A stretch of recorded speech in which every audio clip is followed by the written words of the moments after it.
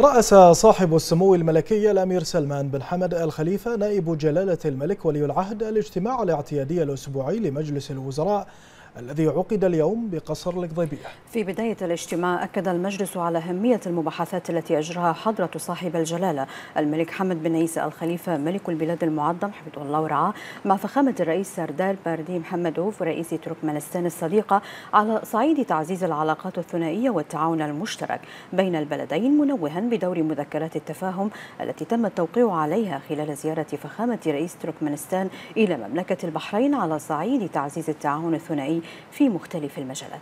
بعد ذلك هنأ المجلس حضرة صاحب الجلالة الملك المعظم حفظه الله ورعاه بمناسبة فوز سمو الشيخ ناصر بن حمد الخليفة ممثل جلالة الملك للأعمال الإنسانية وشؤون الشباب قائد الفريق الملكي للقدرة بالمركز الأول وتتويجه بلقب بطولة العالم للقدرة لمسافة 160 كيلومتر التي أقيمت في العاصمة الإماراتية أبو ظبي.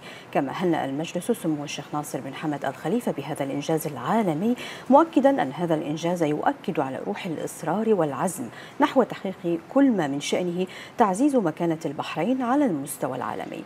ثم أشاد المجلس بنتائج الزيارة التي قام بها صاحب السمو الملكي ولي العهد رئيس مجلس الوزراء حفظه الله إلى دولة الإمارات العربية المتحدة الشقيقة ولقاء سموه بأخي صاحب السمو الشيخ محمد بن زايد آل نهيان رئيس دولة الإمارات العربية المتحدة منوها بنتائج الزيارة على صعيد دعم وتوطيد العلاقات الثنائية بما يصب في فتح آفاق مشتركة. أشمل للتكامل نحو كل ما من شأنه الخير والنماء للبلدين وشعبيهما الشقيقين.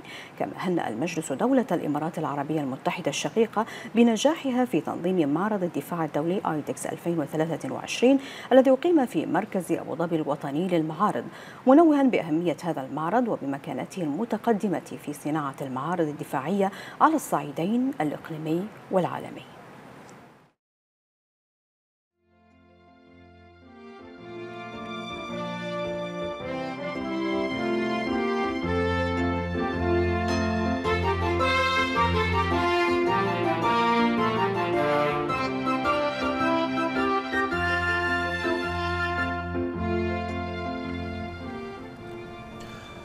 بعد ذلك قرر المجلس ما يلي. أولا الموافقة على المذكرات التالية. مذكرة سعادة وزير الخارجية بشأن توصيات استعراض التقرير الوطني الرابع ضمن آلية الاستعراض الدوري الشامل لمجلس حقوق الإنسان. مذكرة اللجنة الوزارية للشؤون المالية والاقتصادية والتوازن المالي بشأن اعتماد النسخة المحدثة من استراتيجية السياحة 2022-2026 مذكرة اللجنة الوزارية للشؤون القانونية والتشريعية بشأن تعديل مرسوم إنشاء نادي راشد للفروسية وسباق الخيل. مذكرة اللجنة الوزارية للشؤون القانونية والتشريعية حول مشروع قرار بإنشاء وتشكيل اللجنة الوطنية لحقوق الإنسان.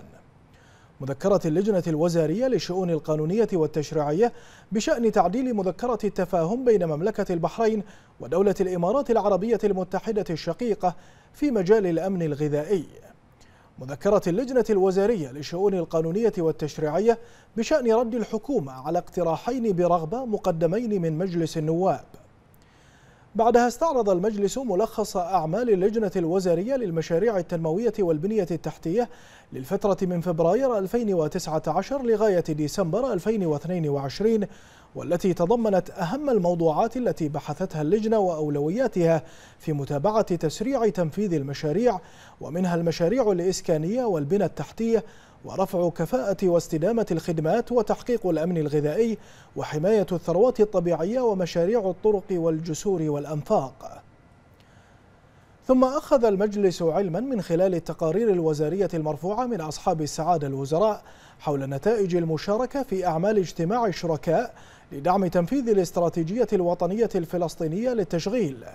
ونتائج اجتماع اللجنة التنفيذية للمنظمة الإقليمية لحماية البيئة البحرية روبمي وبشأن المشاركات الخارجية للوزراء وزيارات الوفود الأجنبية إلى مملكة البحرين.